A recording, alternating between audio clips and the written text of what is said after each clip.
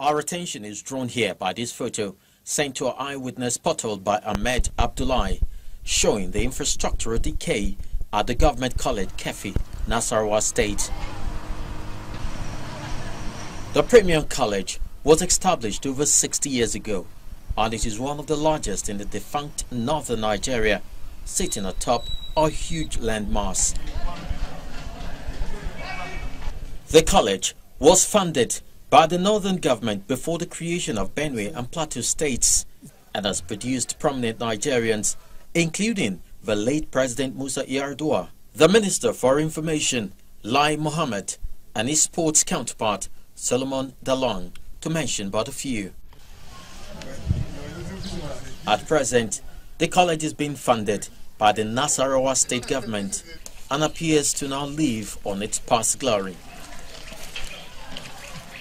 Our visit here reveals the extent of neglect the school appears to have suffered as structures built during the colonial era have been left abandoned. This place served as a dining hall, which was last used over 20 years ago. Today it's more for dump site and toilet for some people.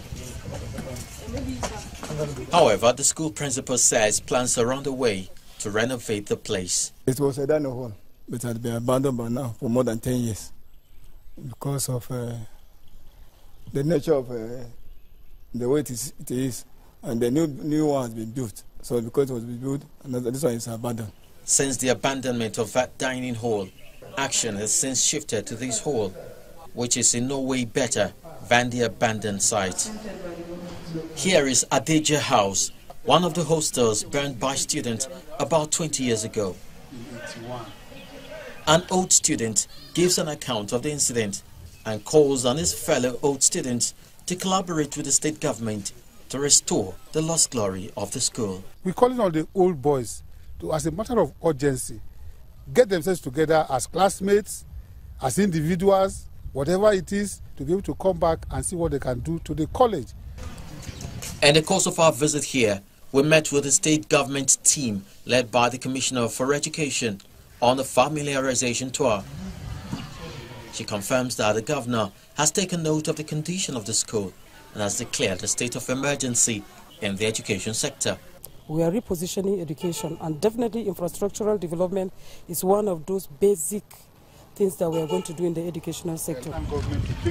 Prior to this fact-finding mission, the state governor had visited, inspiring hopes that the school will feel its intervention. I think the people in the South State we see gradual and consistent uh, renovations of schools uh, so that our children uh, will be able to have conducive environment to be able to pursue the academic life.